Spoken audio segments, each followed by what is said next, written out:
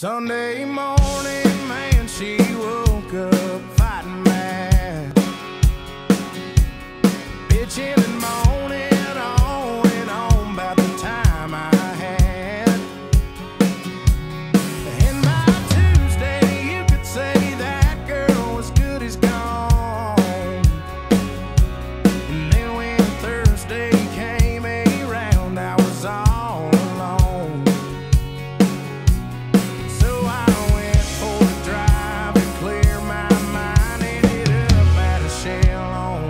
65.